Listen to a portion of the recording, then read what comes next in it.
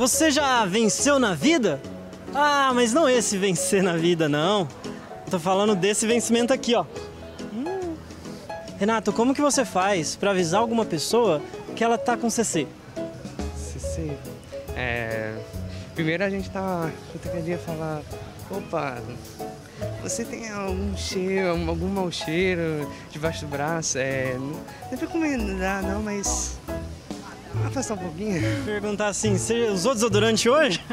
Ah, tipo, ah, tomar um banho, tomar um. Ou tá. tomar- Já tomou um banho hoje? Alguma coisinha assim. Alguma coisa assim. Eu acho que eu ofereço um desodorante, eu falo que tem alguma coisa errada, o cheiro não tá bom, não sei. É constrangedor isso. Falaria assim, na lata. É, você vai falar o quê? Não tem o que falar. Ai.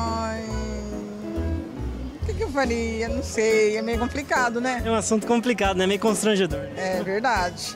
Hoje em dia tem tantos odorantes bons de qualidade, Jogaria no ar assim essa frase.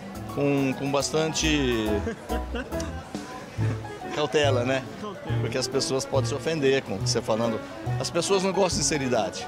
Você tem que arrumar um caminho alternativo e falar, olha, hoje existe desodorante bom, né? eu estou usando um aqui que é uma beleza, Falar com jeitinho. com jeito, é uma duração de tantas horas. Ah, eu tento ser um pouco assim, delicada, discreta, mas peço, né? Falo, olha, tá com cheiro meio Mas- desagradável. Mas e falar assim, tipo, na cara da pessoa? Isso não resolve, não? Ah, não, eu acho muito desagradável. Você já passou por alguma situação dessa? Muitas vezes, muitas vezes. Em ônibus, nossa, em ônibus e. Muitas coisas assim, às vezes piores, mas. Mas é assim mesmo. Não, eu acho que não saberia nem o que fazer. Já. Ah, e o que, que, que aconteceu? A gente tem que tratar de cuidar, né? Ninguém merece, né? Não. Não, nunca. Nunca, né? Sempre cuidou. Sempre cuidei. Passei já com mau hálito de pessoas. Como foi? Aí eu falo assim, nossa senhora, hoje tem, tem tratamentos bons de, de estômago, né? Pronto. Não, Você cuidou direitinho, então. sim, Tem que cuidar, né? Pra ninguém precisar avisar, né? exatamente, é isso mesmo.